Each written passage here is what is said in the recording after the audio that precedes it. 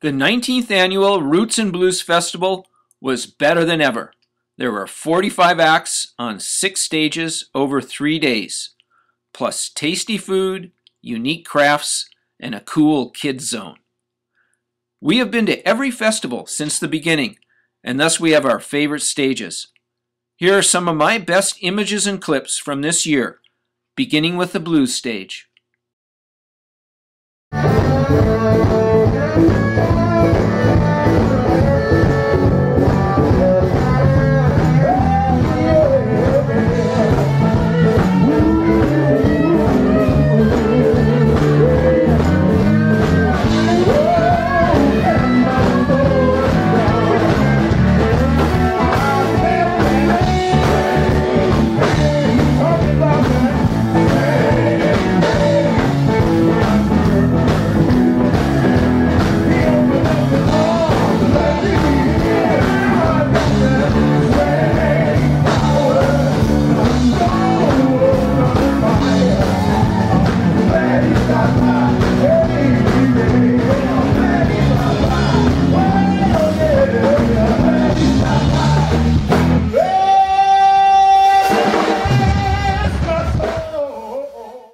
Boogie Barn stage is where many of the younger generation hang out to enjoy alternative music and the funky party scene.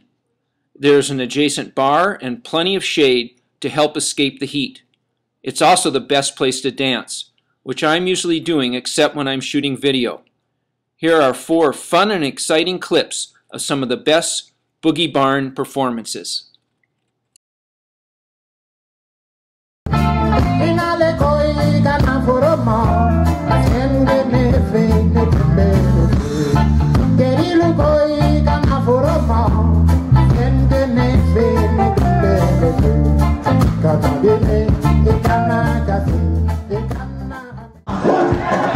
You guys are almost.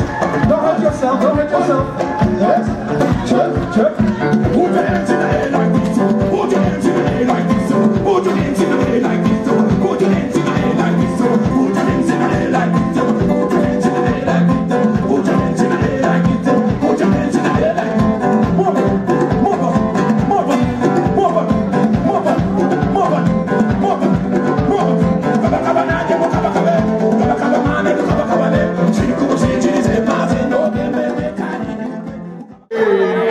just don't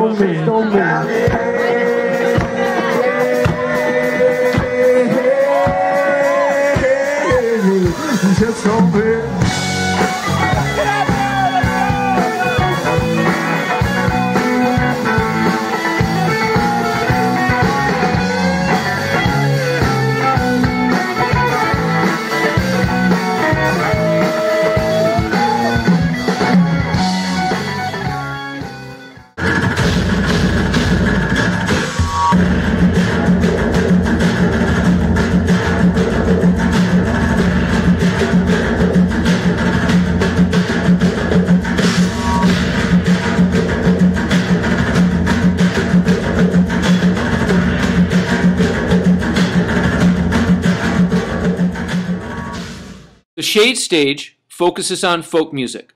Thanks to the massive shade trees, there's great ambience.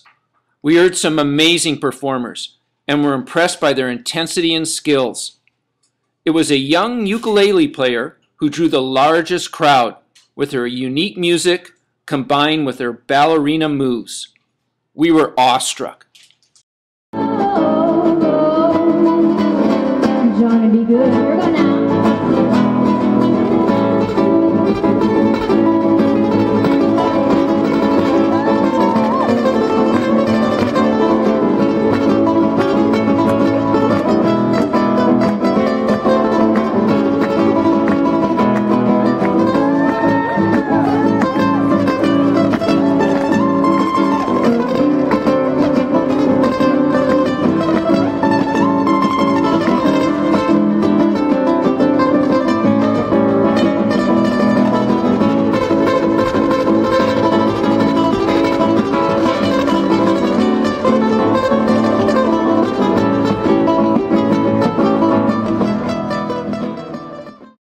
The main stage music begins at 5 o'clock.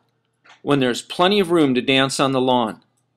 The real magic begins after the sun goes down. The crowds pack in and the colors light up the stage. Here are five clips that capture some of the main stage highlights, beginning with one of the most famous musicians to ever play in Salmon Arm, blues legend Taj Mahal.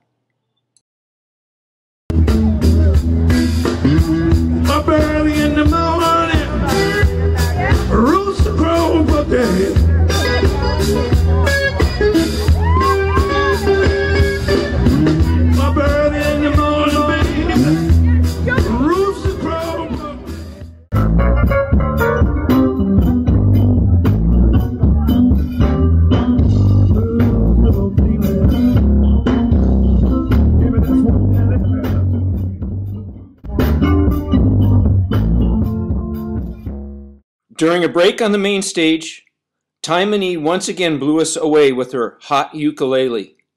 And here's a great clip of one of our favorite bands at the festival, Ganga Giri. Oh my goodness gracious me. What to do? We all know what to do. Because right here, right now, is the promised land. And we are all beautiful teachers.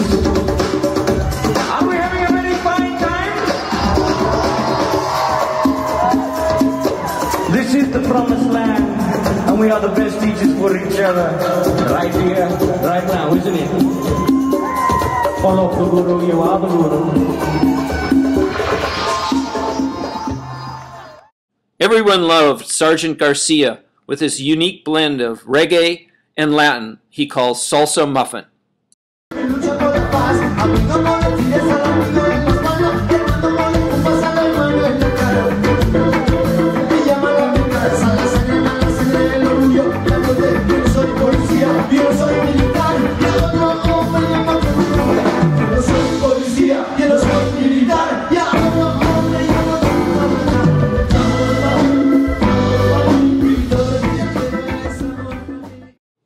One of our favorites was the John Butler Trio from Australia.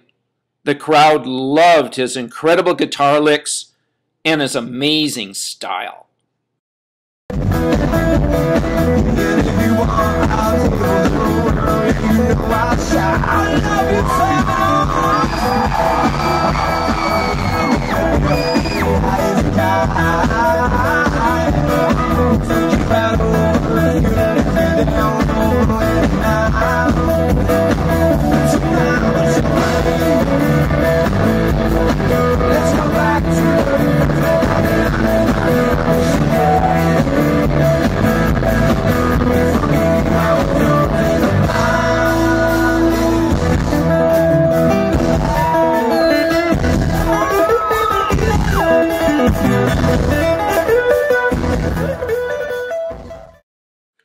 The festival reached a real rock guitar climax on Sunday night with the last act, Jonny Lang, who was as fun to watch as he was to listen to.